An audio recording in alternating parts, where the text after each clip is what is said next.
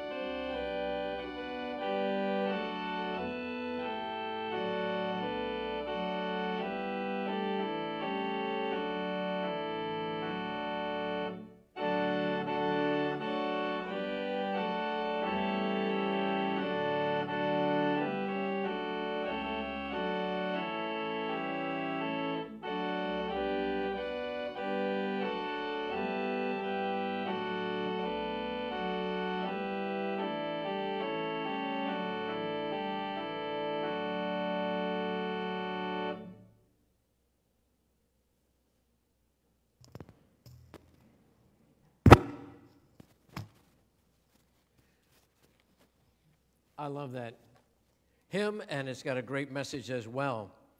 This morning, we continue our series on home improvement, and this morning we're in the dining room with Guess Who's Coming to Dinner.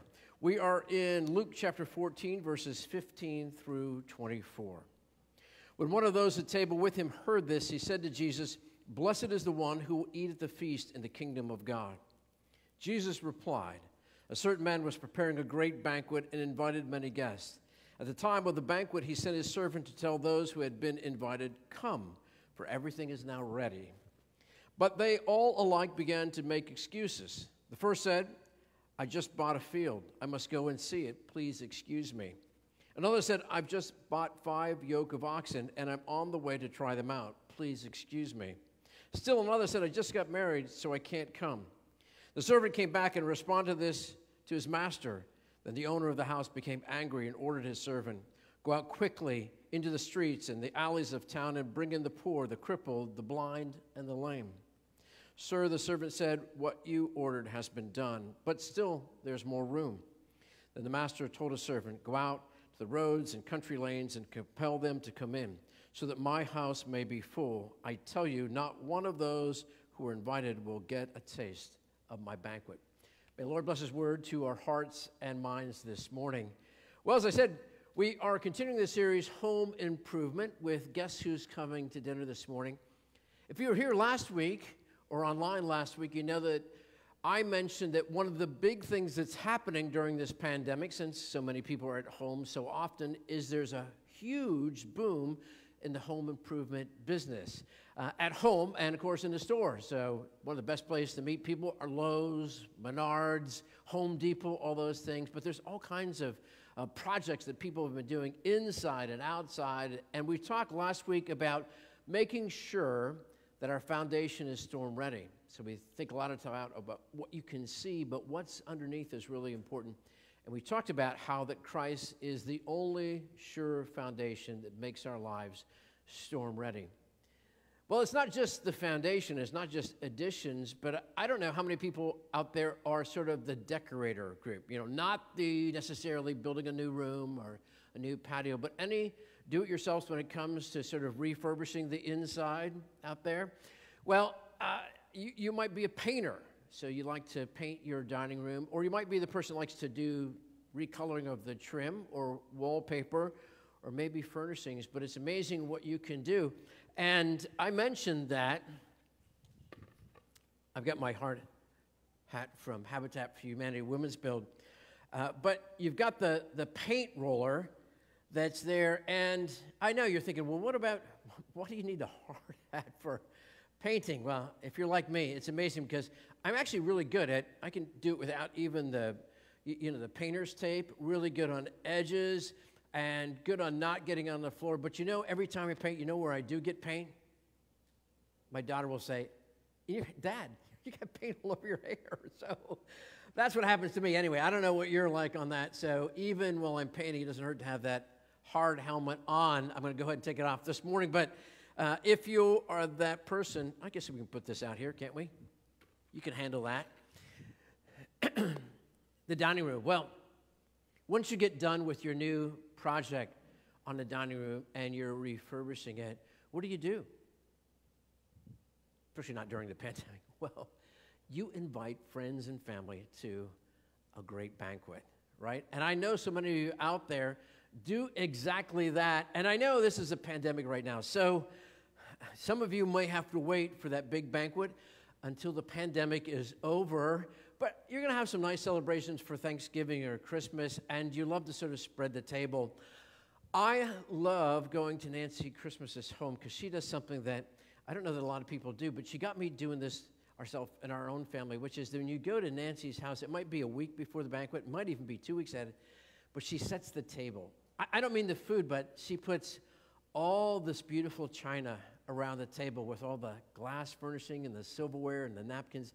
And it just looks beautiful because so many times we forget that it does look beautiful. I mean, because we got the food out there and then we, we say a blessing, hopefully, and give thanks, and then we, we kind of dive in, and then we've got dirty dishes. But you know, that, that furniture and that table and that all those dining room dishes, they look beautiful, don't they? But none of it makes any sense without the dinner itself. And it's interesting because Jesus may have been thinking about some setting like this when he told that parable this morning. But it's a very interesting story because you'll never guess who's coming to dinner. With that, I invite you to walk back into the story. The backstory is this Jesus has been reputed throughout the city and even the entire region as a person who is eating and dining and having a good time with all the wrong crowd, with all the wrong people sinners and tax collectors, not people from the right side of town. So the Pharisees, the religious leaders, come to Jesus and challenge him on that point. And it's within that context that Jesus tells this story. There's another other stories, but I want to focus on this one this morning. And the story goes like this that this individual is planning a great banquet, a great feast, and he sends out save the date cards. Okay, so people know in advance the great banquet's coming. And then he sends out a servant to invite the people who were invited and says, The banquet is now ready, come. And they make up a bunch of excuses, right? So one person says, I just bought a piece of property, I need to go and see it. Now, how many of you buy a piece of property and never saw it before, but this is before Zillow and online, so you probably would want to see it ahead of time. Another person says, Well, I, I need to uh, go and try out the five yoke of oxen I just bought. Would you really not try out a yoke of oxen before buying it? The only person who seems to have a legitimate excuse is the person who just got married. Okay, I'll give you that one. But everyone else has got, you know, a pretty lame excuse. And I just want to push pause for a moment on this story and ask you, what's your excuse this morning? And not excuse for the banquet, right? But do we sometimes make excuses about not coming to church? Now, I know, I know there's a pandemic, so there's a good reason for folks who don't want to come into the Lord's house. But it is online, right? So you don't really have that excuse. You can tune in online. And when you think about it, sometimes we just take church for granted. We take God's grace and love for granted, not just on Sundays, but every day of the year many times. And so we're reminded of just how valuable it is to be around the Lord's table, Lord's table of grace and love and forgiveness. And so I just challenge you not to think about your neighbor or even your spouse's excuse, but what's your excuse? And what can you do to maybe put more value on the Lord's invitation to you to come around the table? Well, to go back to this story, the landowner is so upset about this. He says, Listen, go out into the highways and byways, the street alleys, and invite the poor, the lame, the orphans, the fatherless, everyone into God's house. And so the servant goes out and does exactly that. And then he comes back and says, I've done exactly that. And the landowner says, There's still more room. So go on out and to keep inviting people, the last, the lonely, the least, the marginalized of society, into this great banquet.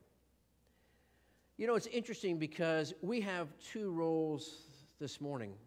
The first is we are invited as guests of the Lord Himself to His own banquet table. And we're reminded of that with Holy Communion this morning, with World Communion. So we're invited, so we can ask ourselves are we making excuses? Are we really appreciating that like we should? But you and I are also the servants that are called to invite other people to this great dinner, to go out into the highways and byways of life, and to invite people whom we would normally think would be around that table to God's great table of grace and love. And it reminds us that all people are invited. And World Communion reminds us again that all people of every race and every place are invited to the Lord's table. So, what would it be like to be among those who wouldn't normally be invited to go to this great banquet. There's a story that I love, a true story that happened back in June of 2017. You may have seen the news on this in Indianapolis. But Sarah and Logan, this couple was engaged to be married, and Sarah was a pharmacy major at Purdue.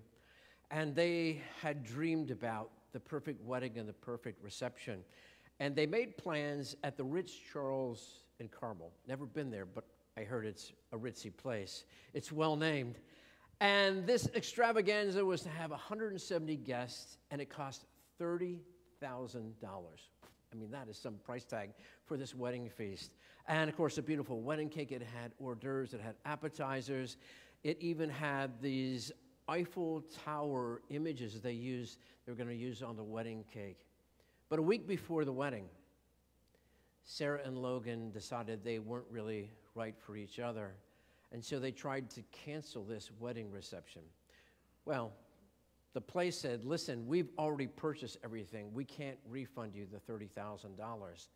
And they were heartbroken once again by that, but they began to think about what they could do, and they decided to take their disappointment and their heartbreak and turn it into something special and invitational.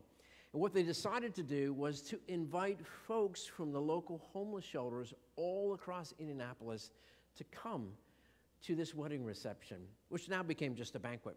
And so they called all these homeless shelters and said, listen, you know, the folks that are the most downcast, the most hurting, the most in need, would you let them know that they could come to this? And would you provide transportation? They helped find transportation for this. And, and some folks heard about it, right? And so they decided they were going to provide clothing fit for a wedding reception. And so all these homeless folks got a, a new wardrobe for this. And they came to this wedding and they, and they didn't spare anything. They didn't shortchange anything. They had everyone who was you know, invited and they were walked to their special tables and they were treated like royalty. And you wonder what it felt like for them. They left the wedding cake in there. They wanted it to be a celebration. They left those beautiful Eiffel Towers images there. And Sarah and Logan served the homeless in what was a night to remember. The footage is still online if you want to see it. And I wonder myself, was that a life changing event to those folks who are normally the last, the lonely, the least, and the marginalized.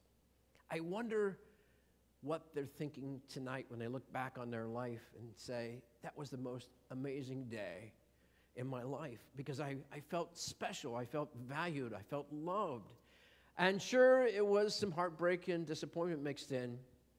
But I wonder what would happen if we were to ask each and every one of those folks who were downcast and lonely and homeless what it meant to them.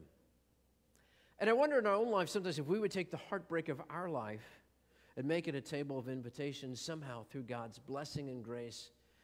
But more than anything else, when I think about this story, I can't help but imagine that it's very much like the story that Jesus told. That this moment of disappointment became a moment of invitation to the last, the lonely, the least, the forgotten, the marginalized. And Jesus went out of his way to tell us that we are people that get to send the invitations out personally to those who are out in the highways and byways who wouldn't normally be invited to a great banquet. So I ask you this morning are you inviting those out in the highways and byways, the orphans, the widows, the last, the lonely, the least, the marginalized, into God's house, into God's amazing banquet, amazing grace? There's something else I want to think about, and that's a film that I love. And if you're younger, you probably don't remember this.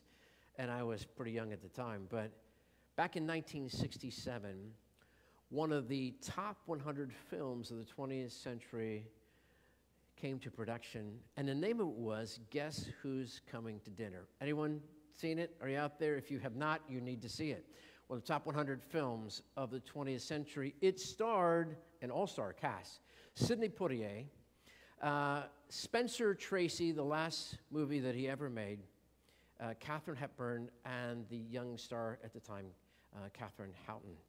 And the plot line goes like this uh, Matt and Christina Drayton, played by Katharine Hepburn and, and uh, Spencer Tracy, are progressive liberals and proud of it in San Francisco. And they're proud that they're open minded. Their daughter, Joanna, goes to Hawaii and sends them a message that she has become engaged to a doctor. And then they find out that this doctor, who is Sidney Poitier, is black.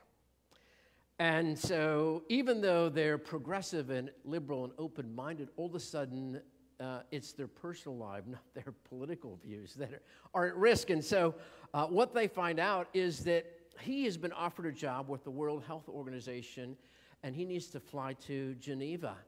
And so, they're going to come to dinner with them, and his parents are going to fly up from LA, and they're all going to have dinner, and they need to decide if they're really going to get married that evening.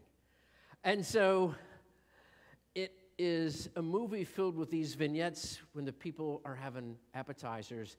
And it turns out that John's parents, this young black medical doctor who's renowned and well educated, aren't for the wedding really.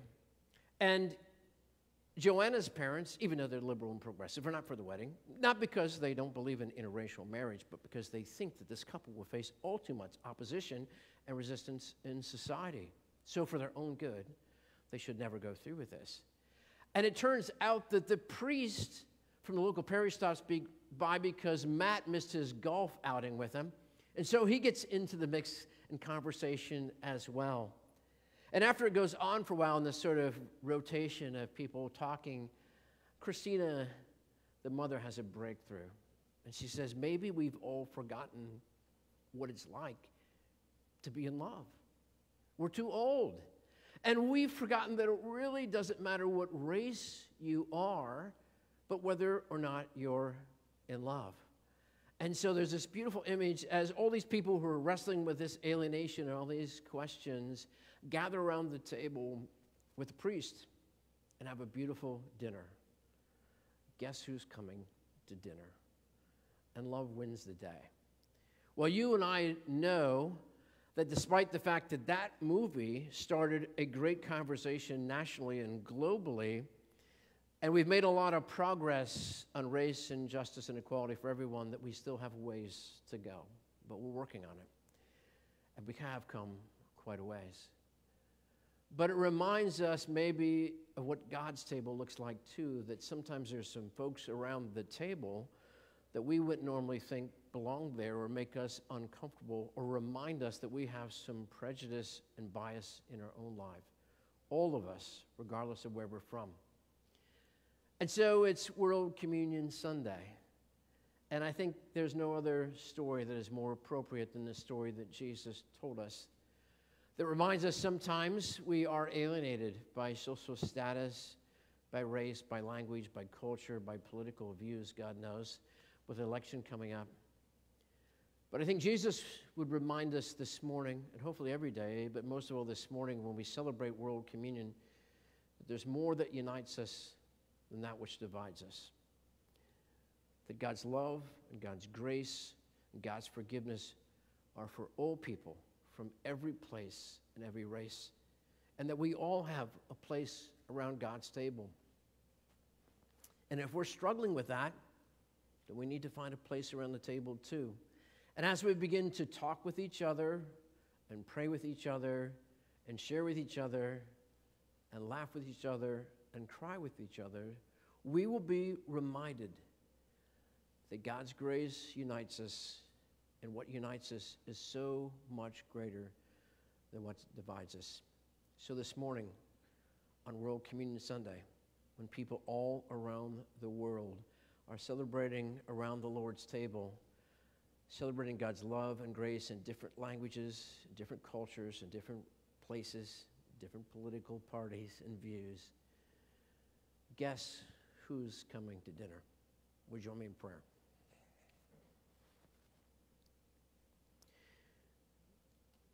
Lord, as we reflect on this great story of our Lord and how sometimes it makes us uncomfortable, as it should, we're also reminded that your love transcends all. Every barrier, every heartbreak, every hurt, every misgiving. So we're thankful, Lord, that we can lead into your grace this morning. So open our eyes anew and open our hearts anew to all of our brothers and sisters in Christ. Lord, help us to find a place of grace around your great table of love, to look around that table and to recognize sisters and brothers that we need to get to know, and remind us that we also are commissioned to go out into the highways and byways and invite all your people to your table. In Christ's name, and all God's people said,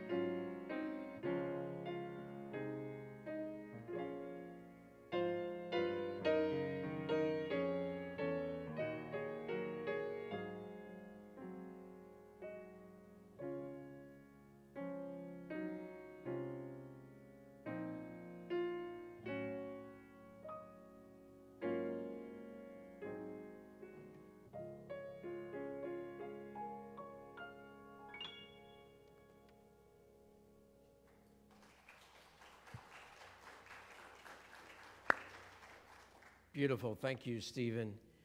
As we come before Lord in prayer, I'd just like to lift up a couple needs. Our beloved Hamer Smith passed away Friday morning, peacefully, surrounded by family. Uh, service will be held on Wednesday at 11 o'clock here at the church with visitation at 10 o'clock, an hour before. So the family has asked us for prayer. We want to remember them in prayer. Also, Matt from the music team on the other side of life, the beginning of life, uh, he and his fiancee are expecting a baby, and there's some difficulties there with the pregnancy, and so they've requested prayer for baby and mom. And I know we have some other folks that are um, expecting and, and need our prayers as well. I know there's lots of other needs in our lives and our community and our world. So I just invite us to take a few moments in silent prayer and then join together in united prayer.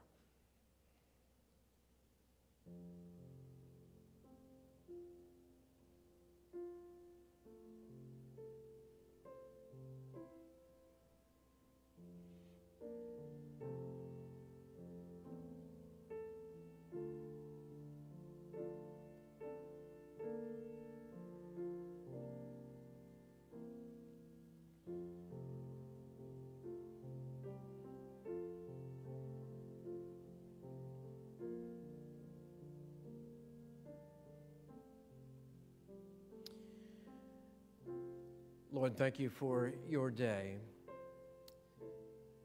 A day when we can step aside from the busyness of life, and even though we do still feel the burdens that are on our shoulders, we can realize that we can share those burdens with you. A day when we can also realize that there are blessings each and every day, even amid the challenges of life. And so we can pause to give thanks for those. So this morning we thank you for the blessings before we bring you the burdens. We're thankful for even the rain that is here to bless our lands. We're thankful for our farms and fields and factories and so many other blessings. We're thankful for places we can work and grow and learn and play. We're thankful for our community and our country and our global community. We're also thankful for our family of faith, along with friends and family, folks who can journey all of life's hills and valleys with us. But most of all, we're thankful for you, our Lord and Savior. For you've come into our world to share our hurt and brokenness, to show us the way of healing and love and grace. You're willing not only to teach us, but to go to the cross to reach us.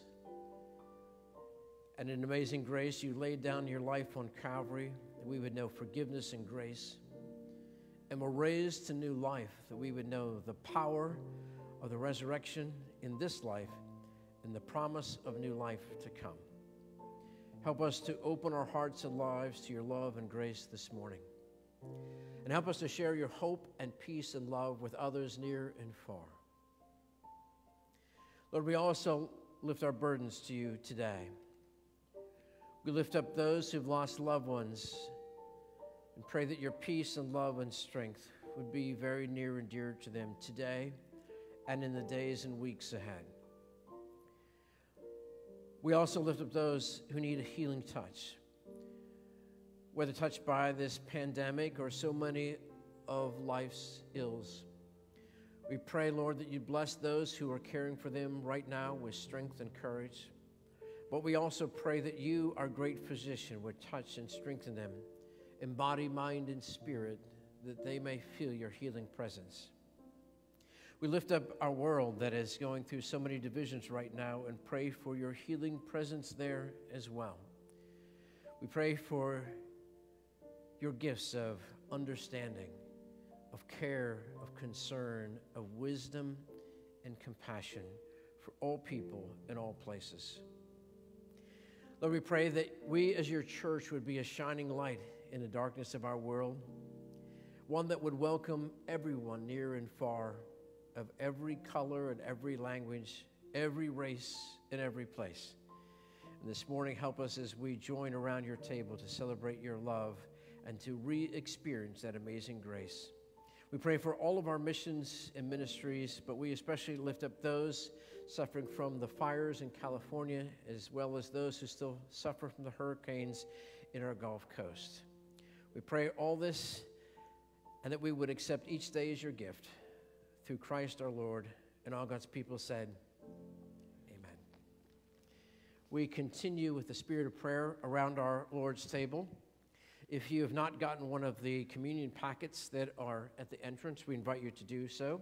And if you are at home, we invite you to get out your bread and your juice or wine this morning. And even though we are separated, we know that we are very much connected in the very most important way. This is the joyful feast of our Lord, and people are invited from north and south and from east and west, and we especially celebrate that this morning and are reminded because the globe is on the communion table, but more importantly, Christ's invitation is to all people. So let's take a moment and go before Lord in silent confession of our sins and shortcomings.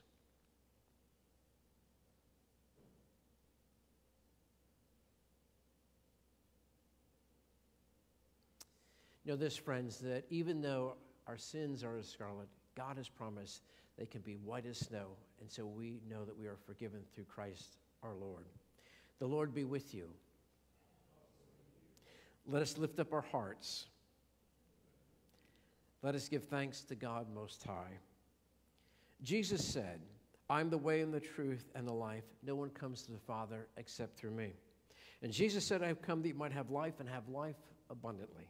On the same night in which he was betrayed, the Gospels record that while they were eating, Jesus took bread, gave thanks, and broke it, and gave it to his disciples, saying, Take and eat, this is my body.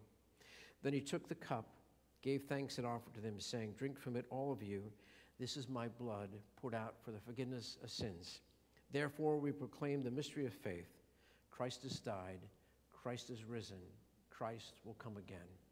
Will you join me in prayer? Lord, as we gather around your table this morning, and as those all around our world gather around your table this morning, we pray that you would bless these gifts of the bread and the cup. We pray that you would continue your forgiving presence in our life, empower us with your spirit, and guide us with your word. May we love and serve you and love and serve our neighbor with joy and thankfulness each and every day. We're thankful that we can lean on your grace and be empowered by your Spirit. We pray this in the name of Christ Jesus our Lord. Amen. On the same night in which he was betrayed, Jesus took bread, gave thanks, and broke it, and blessed it, and said, This is my body given for you. As often as you do this, do this in remembrance of me. The body of our Lord, the bread of heaven.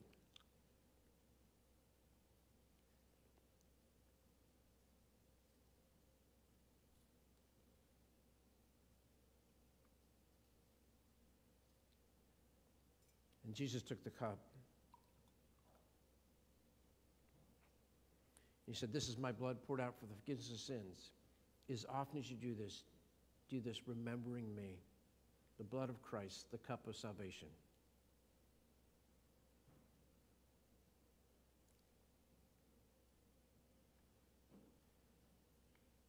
Amen. Jesus said, I'm the bread of life. The one who comes to me will never go hungry, and one who believes in me will never thirst. Jesus said, I'm the vine and you are the branches. Remain in me, and I will remain in you. You did not choose me, but I chose you. And I appointed you to go and bear fruit, fruit that will last. This is my command that you love one another. Amen.